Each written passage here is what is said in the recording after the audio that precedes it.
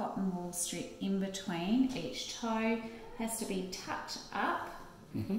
so that her bony little bits are not pressing up against each other. So I'm pretty happy with how that's looking there now, okay? Yep.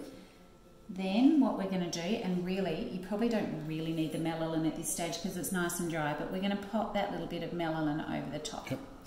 Then we're going to cotton wool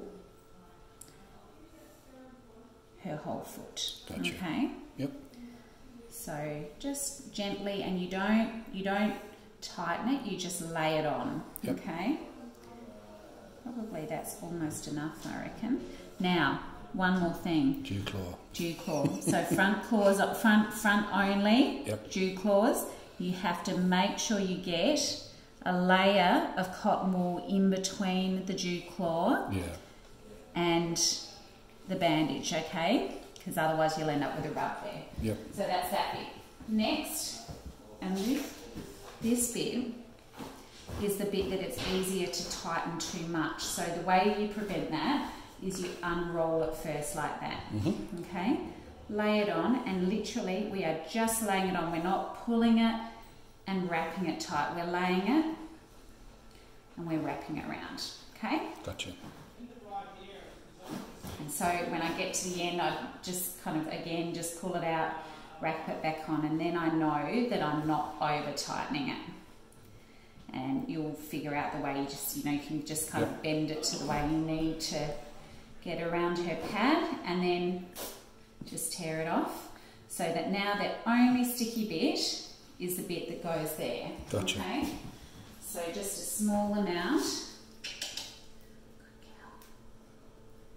But if you're getting that excessive rub, I want you to try it out. But you can imagine that that's probably not going to stay on for too long. No, it wouldn't.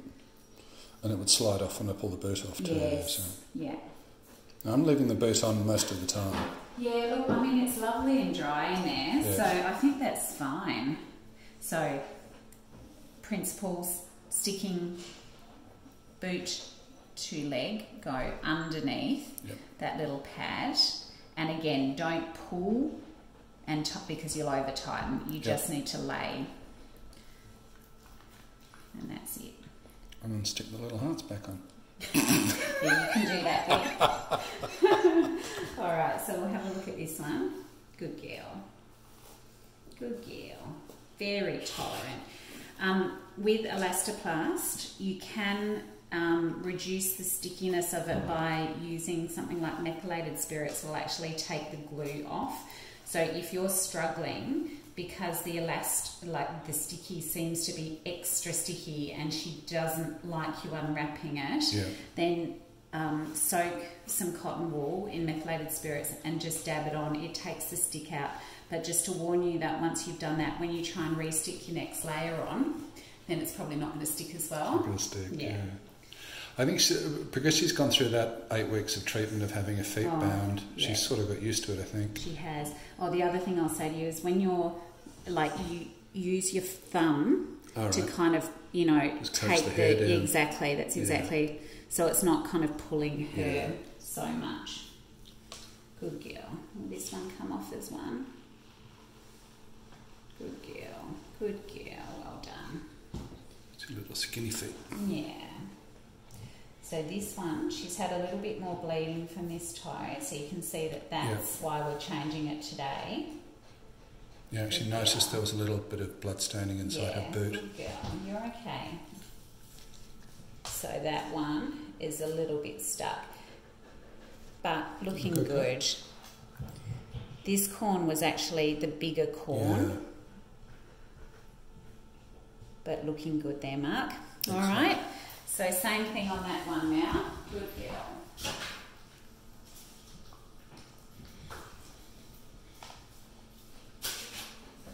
Hopefully I haven't made these second bandages too big for the boots. All right, so you've got the benefit of not having, oops, wrong foot. So again, check your bony prominences. Yep. So your knuckles in between the toes. So again, a little bit bruised but not moist. You can have a sniff, smell for yeast infections, but it all looks good. So then we're just padding. Good girl.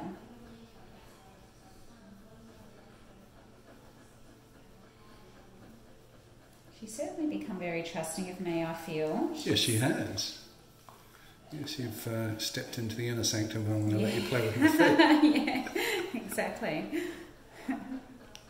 Which is lucky, really, isn't it? Yeah. Hey? Yeah, imagine if she was objecting. Good girl.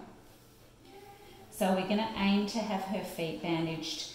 I think this time we can probably leave them on for a week. Right. Okay. So I'll do it every weekend. I think so, unless she gets them wet, Yep. in which case, if she gets them wet or they seem smelly, or the other thing is if she starts chewing at the bandages, that's usually a good indication that something's going on Yeah. that's upsetting her. So if one of those things happens, I want you to change them sooner. Yep. Otherwise, we'll get a week out of this. Yep. And ideally, I think we'll change next weekend and the following weekend. Um, and then hopefully that will be enough. Okay. Now the stitches have to come out, they're not dissolving. Uh, they are dissolving ones, Oh, and I think it's actually better just to leave them in there. What happens often when you do this surgery is that the whole kind of bottom of the pad will slough off, but it'll slough off without, you know, and the corn will be gone. Yeah. So losing the actual top layer of the pad is not a concern and will probably happen. Right. Um, but what we have to be aware of is when that pad is in its very kind of sensitive new stages, that it will obviously be very um, thin Yep. and it's going to be very prone to. Um, More corns. Yeah, it's going to But particularly if it's mechanical, you know, so the impact of the bone. And also things like foreign bodies, so grit, for instance, Yeah. so the gravel type injuries are, are very common when you have these very thin pads. So just again, it, it means all it means is that even after the bandages come off, we use the boots when she's on outside surfaces. Yep.